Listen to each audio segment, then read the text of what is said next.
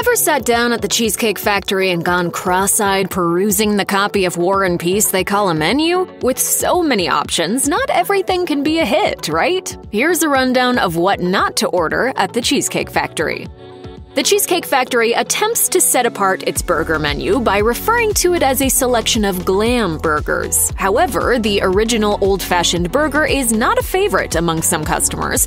It's your typical burger with lettuce, tomato, onions, and pickles, so there are definitely other options with more flavorful toppings. It's also lacking cheese, making it a straight up classic hamburger.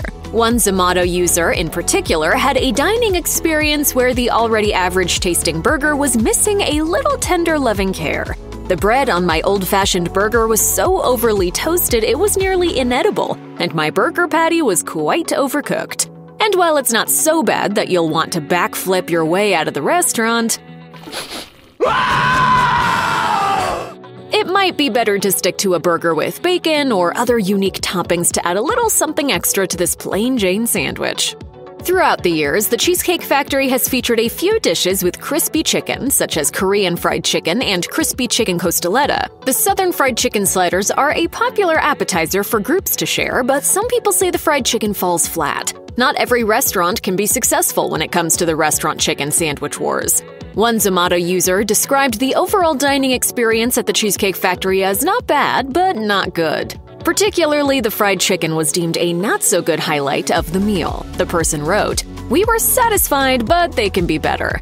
With so many menu items, the restaurant can't make every single cuisine perfectly. So maybe it's just not the spot to expect expertly fried chicken. Or maybe lower your expectations a bit if you decide to order this appetizer for the table, should you be so inclined to test it out for yourself. Fish and chips are typical bar food, especially if you're dining somewhere close to a body of water. It's a simple plate of fried fish, french fries, and tartar sauce. However, the internet isn't all that in love with the Cheesecake Factory's take on the British classic. One Reddit user called the dish a joke. Sure, it was battered and fried, but the batter had no discernible flavor, not even salt. And if there's one thing you expect when eating this fried platter, it's that your mouth will water from the amount of salt. Mmm, that's a little salty. One TripAdvisor review warns diners to not even bother ordering the fish and chips, saying this about the disappointing dish The fish in the fish and chips had 90% batter and 10% fish. My husband sent it back. As a note, the Cheesecake Factory has plenty of seafood centric menu items with much better reviews than the fish and chips, such as herb crusted salmon and Jamaican black pepper shrimp. The Factory Burrito Grande at the Cheesecake Factory is an intimidating dish to look at. It's massive, packed with tons of nondescript fillings and drowned in a bright red sauce. But as pointed out by the Burrito blog, the dish is technically more of an enchilada. Some reviews from TripAdvisor say that while the burrito is massive, Holy mother of all burritos!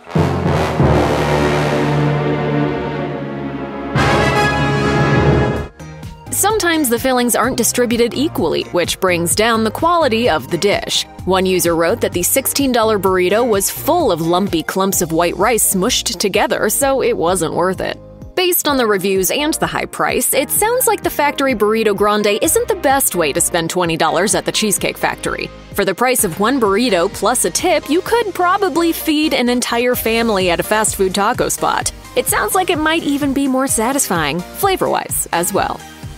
The consensus that the Cheesecake Factory's toasted marshmallow s'mores galore cheesecake is a miss was determined by a large group of mashed readers. The US based survey found that 23% of the 645 participants did not love the dessert. It's loaded with graham crackers, toasted marshmallow fluff, and Hershey's chocolate, but for some people it might just be a bit too much to cap off an already filling meal.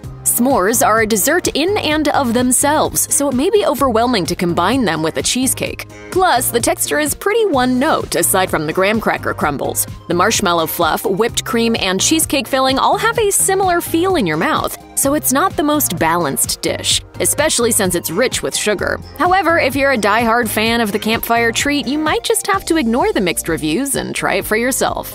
If you've never dined in at the Cheesecake Factory, it can be daunting to know how to tackle the massive menu. One novice took to Quora to ask for some advice regarding the restaurant. Fortunately, a Cheesecake Factory diehard fan provided some insight on menu items to avoid entirely, even though they might be tempting.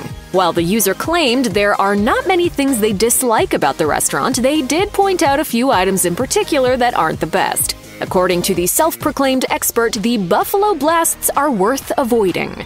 They're fried, greasy, and so filling that you probably won't feel like eating the rest of your meal.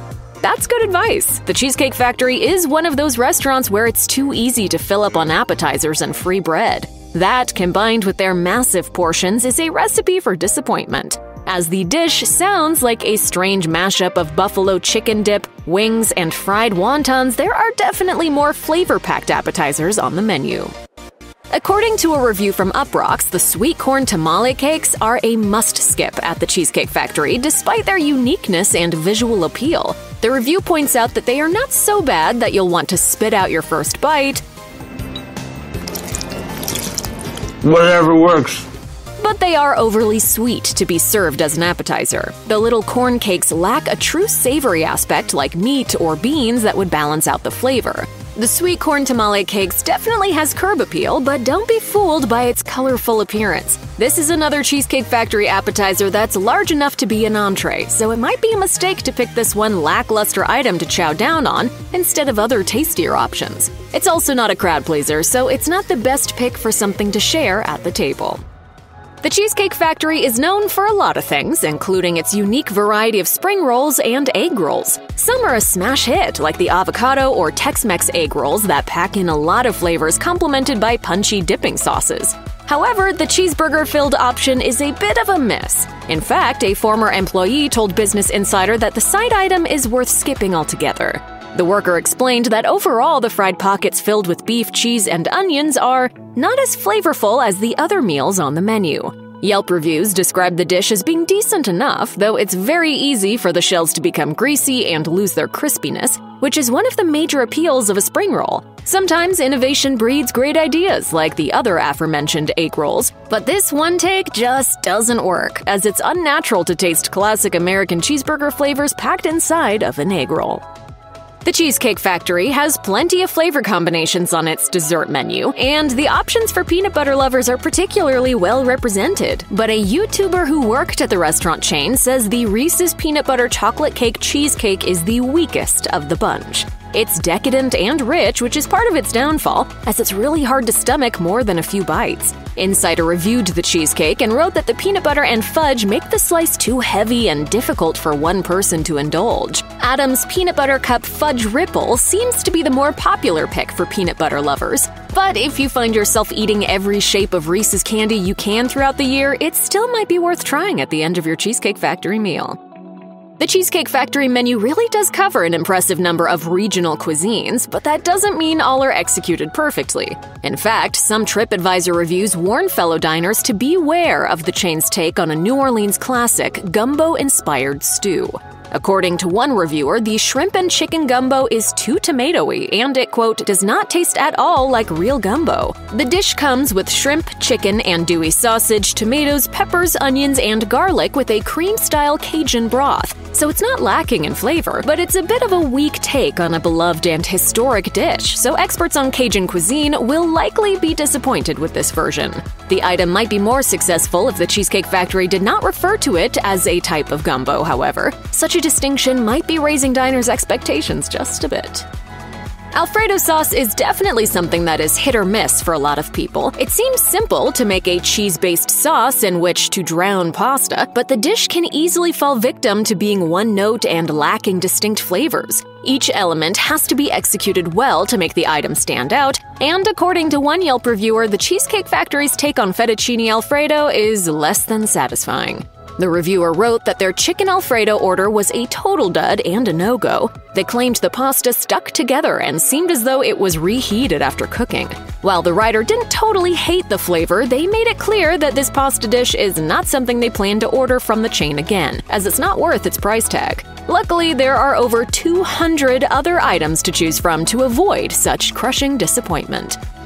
Check out one of our newest videos right here. Plus, even more mashed videos about your favorite stuff are coming soon. Subscribe to our YouTube channel and hit the bell so you don't miss a single one.